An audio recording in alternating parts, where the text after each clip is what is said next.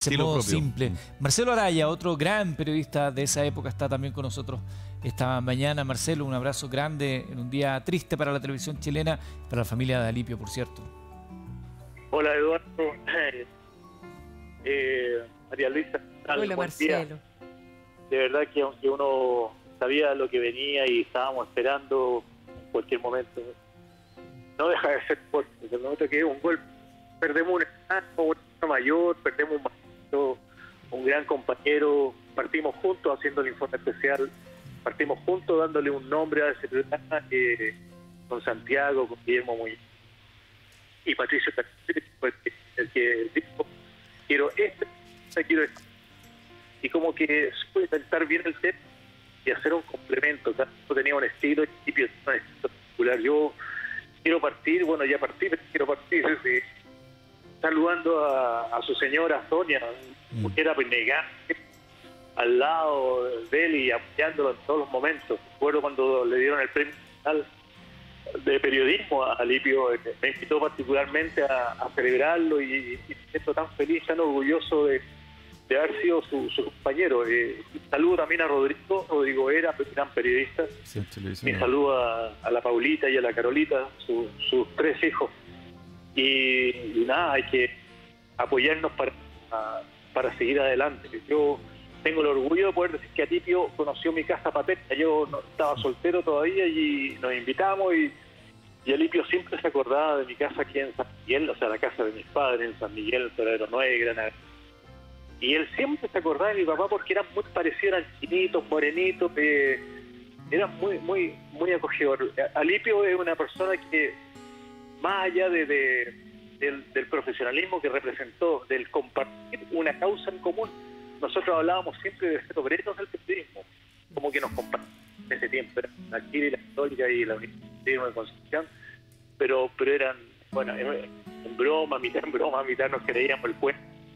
Eh, obrero el periodismo, nosotros no, no, no estudiamos periodismo para maquillar la tele, sino que para ir a reportear el terreno y eso lo insistía permanentemente Pablo el propio Pato Caldichuria, Alipio, porque ellos fueron, los tres fueron compañeros. Yo fui compañero de curso con Willy Muñoz y juntos partimos con este programa que, que le dio nombre a cada uno de nosotros y que a la vez nosotros le dimos un nombre por, porque generamos reportajes que, que llamaban mucho la atención de las personas, no sé si eran buenos o malos, pero, pero eran, eran realmente atractivos para la gente y Alipio pasó a ser una tremenda figura, tanto que llegó a obtener el premio.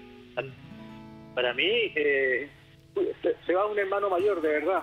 Alipio fue amigo, compadre, como escuchaba recién a Santiago, nosotros generamos una forma de, ser, no nos conocíamos, pero generamos una, una cierta amistad en los equipos, siempre como que no, no todo el mundo está coincidente con el otro, pero aquí, fíjate, que estamos muy fraternos. Y una vez al mes invitábamos a almorzar y claro, generalmente, aunque parezca propaganda, pero íbamos al heladio porque quedaba ahí en Bellavista y a él le encantaban las cangas.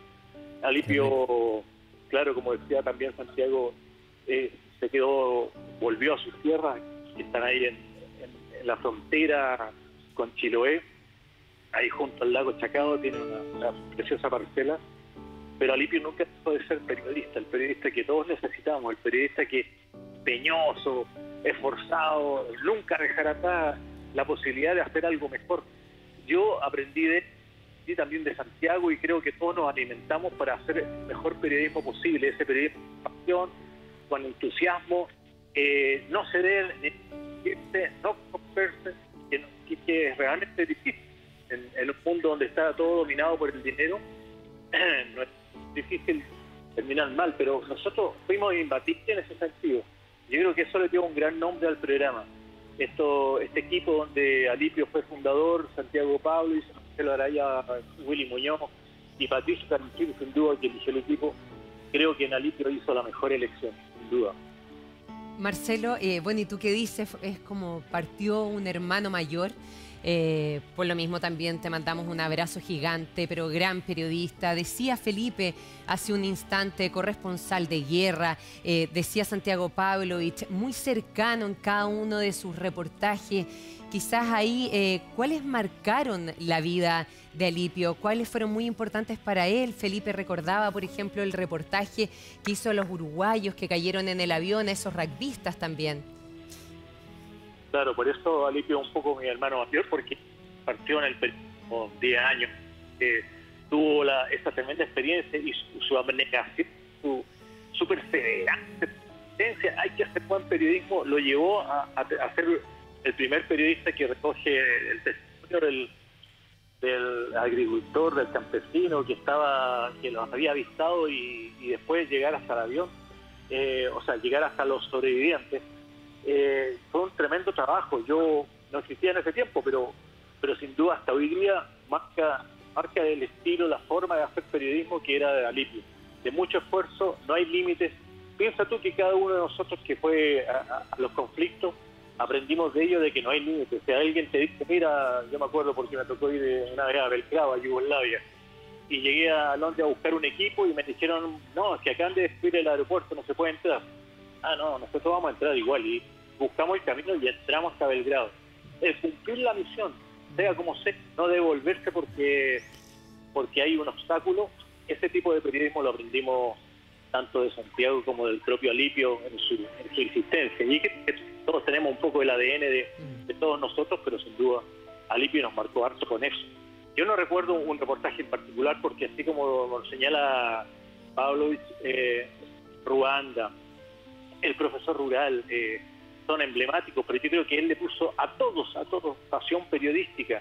Me acuerdo perfectamente que él dijo, yo quiero ver el tema del, SIDA cuando surgió el, problema.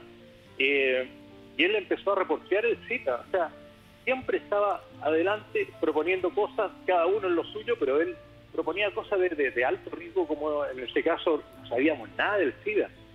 Y él se propuso hacer un reportaje, contarle a la gente él sentía mucho deseo de, ser reconocido como un periodista científico, porque dedicó buena parte también de sus cosas a hacer periodismo de ciencia.